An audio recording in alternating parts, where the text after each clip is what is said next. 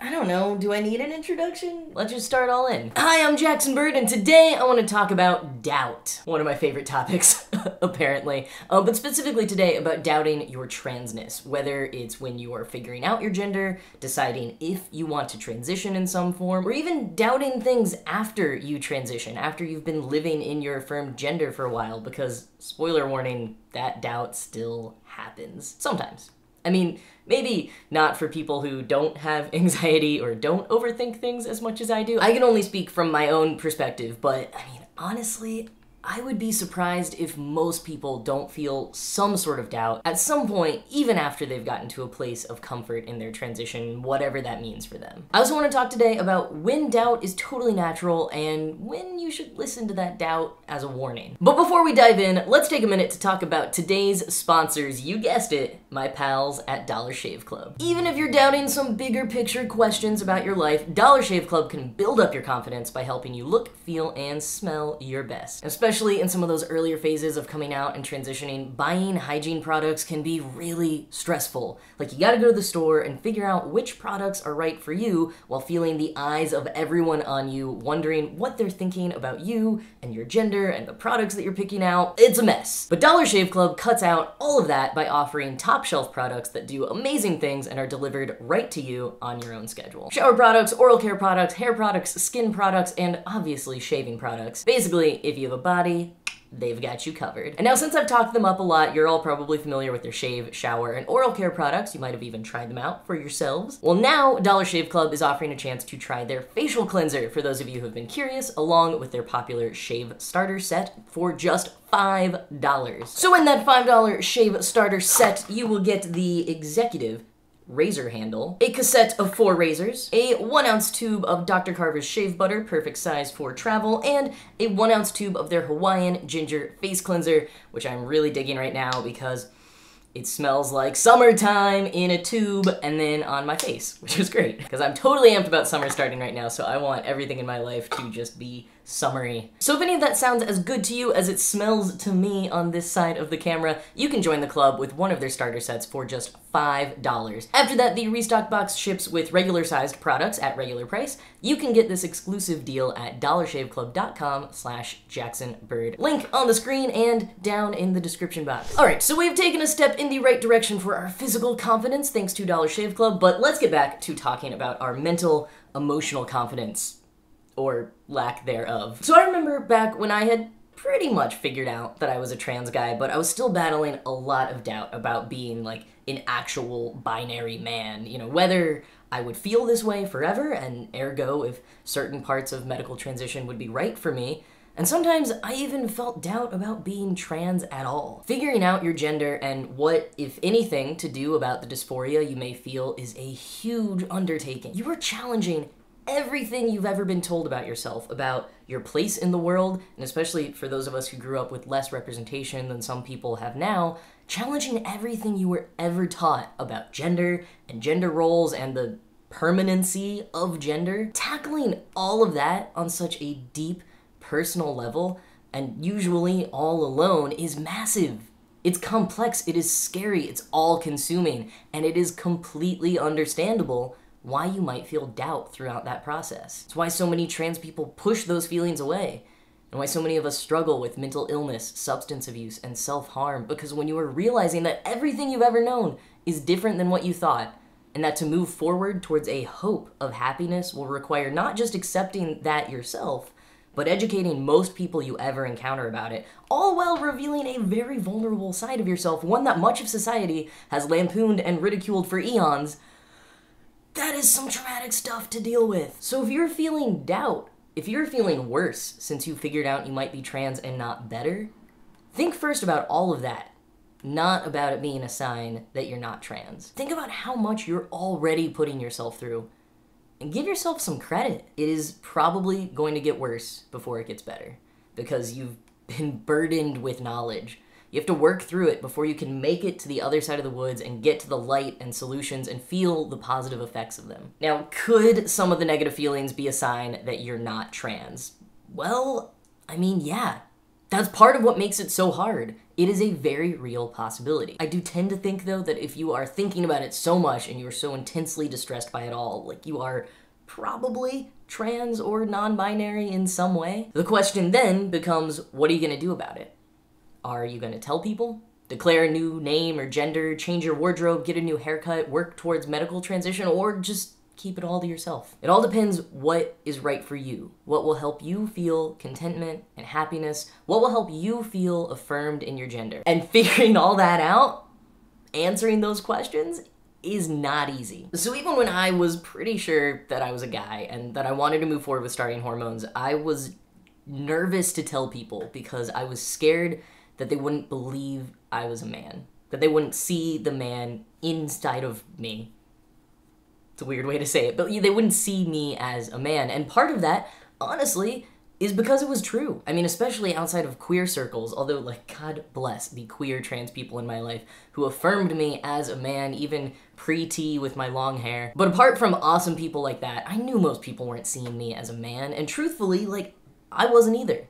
I mean, I was trying to, and I felt it deep inside on a certain level. But on another level, I knew that having not lived in the world as a man before, I didn't know what it meant to be a man. I couldn't confidently tell people that's who I currently was because I didn't feel confident that I currently was, only that I should be and one day would be. But there aren't like aspirational pronouns you can use. So I used he, him pronouns even when they felt weird at first and said that I was a man even though I didn't quite feel it yet because I had to confidently display that for other people so that they could start believing me as a man, even while I internally was still getting used to it myself. And yeah, some of them took longer than I did, which is when it gets weird and hurtful, and is why we talk about respecting people's name pronouns and gender, even if your concept of their affirmed gender doesn't match how you see them that doesn't matter. I want to make it clear here that I'm not defending anyone who refuses to see and refer to someone as their affirmed gender. I'm just saying that from the individual trans and non binary experience,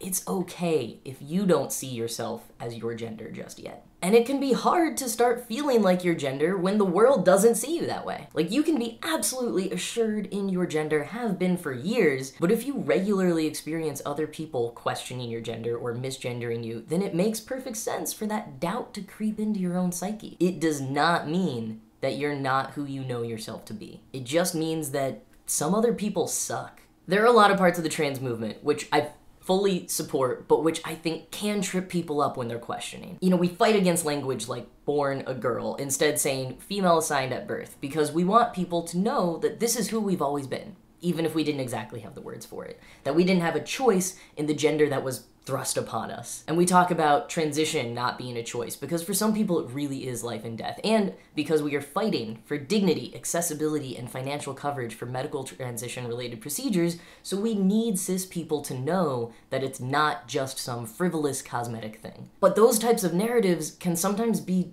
disappointing or confusing to a trans person who maybe hasn't felt this way their whole life who might be happy to refer to their childhood as being the gender they were assigned at birth. For someone who knows that transition will really, really help them feel less dysphoric or depressed, but wouldn't necessarily say that it's life or death. For any trans person whose narrative is a little different from the one that we most commonly hear. What I'm trying to say is that there's a lot of ways that we talk about things that I believe we need to in order for the larger public to take us more seriously, but those same things can be damaging to questioning folks within the community when they aren't presented with any nuance. We don't like admitting that we ever doubted our gender because it feels like an invitation for other people to doubt who we are. But in not talking about it, we sometimes do a disservice to people who are questioning their gender right now. You know, when I hear trans people say that they never once doubted their gender and that as soon as they heard hormone treatment existed, they had to have it and they've never looked back. I mean, good for them, and maybe that's mostly true, but even the most confident of them must have doubted a little bit. At least, like, late at night when you can't sleep and that voice in the back of your head asks, What are you doing? spews all the stereotypical misunderstandings we always hear from the rest of society you're making a mistake. You're ruining your body. You'll regret it soon. No one will ever love you. We're fed all of these ideas, and for none of them to ever enter your brain when you're at your most vulnerable is a little inconceivable to me. It is natural for you to worry about things that you know in more rational moments are not true. I mean, even now, several years into transition and very comfortably and happily living as a man, I experience doubt. Especially when I hear trans people's stories that aren't like my own. You know, I see trans guys who are so much more masculine than me. I hear people talk about the different ways they knew they were trans, and I wonder if my realization took too long is somehow less valid. For a group of people who have historically been shoved out of the mainstream eye and continues to lack the kind of education about our identities and our bodies that cis people are afforded implicitly and explicitly through academic, social, and cultural venues, it makes sense why we would think that there's only one or only a few ways for us to be who we are. But that's simply not true. We are as complex and as varied as cis people, if not way more. But since we don't get to see that, since we're not taught that without seeking it out, it's understandable that we would doubt our feelings when they don't match up to the few examples that we're able to find. So don't be so hard on yourself if you're doubting your gender it does not necessarily mean that you're not trans or that you're not the gender that you are. That said, doubt can be a useful vehicle for self reflection. And when it comes to making big life or medical decisions with transition, there are times you might really want to listen to that doubt. For example, not being thrilled about some changes from hormones is normal. Like, in a perfect world, would I be fighting acne at almost 30 and have a freaking hairy butt? No, but I love my deeper voice, my facial hair when it's coming in eventually, kinda sorta. I like how balanced and right testosterone makes me feel, and I mean, heck, I even love some of the things that are not so great because they make me feel like a man. No one, cis, trans, or otherwise, likes all parts of puberty. You cannot pick and choose the changes that you'll get from hormones. And if you're not ready to face that, hormone replacement therapy might not be right for you.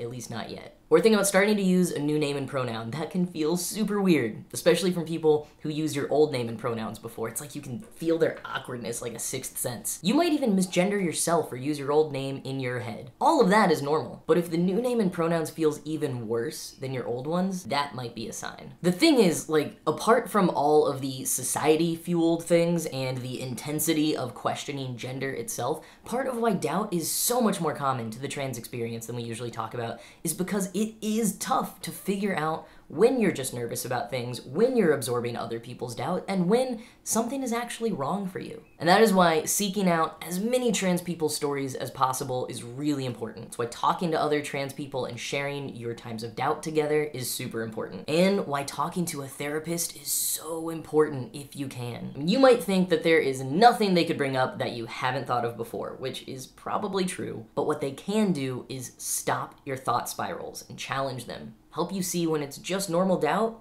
and when it might be a sign. Not being a therapist myself, that is about all I can offer you today, but in that spirit, what are some times that you've doubted your transness or your gender, and how did you overcome it? Leave your thoughts in the comments below because, like I said, sharing these vulnerabilities with each other in the trans and non binary community can really help us see that we're not alone and find some solutions together. And if you liked what I had to say here about doubt, if you want to hear a little bit more about my personal experiences with doubt, might I recommend 200 published pages of self doubt coming to a bookstore near you September 24th. Uh, yeah, really, that is mostly what the book is about. I mean, there's also stuff like awkward childhood stories, actual trans education, and rants about Pottermore. But it's mostly self doubt, as is my marketing strategy, apparently. Anyways, link on screen and below to pre order my book, Sorted. Shout out to my patron Nick for suggesting this topic. If you want to become a patron, be a part of our patron community, you can do that at patreon.com slash jacksonbird.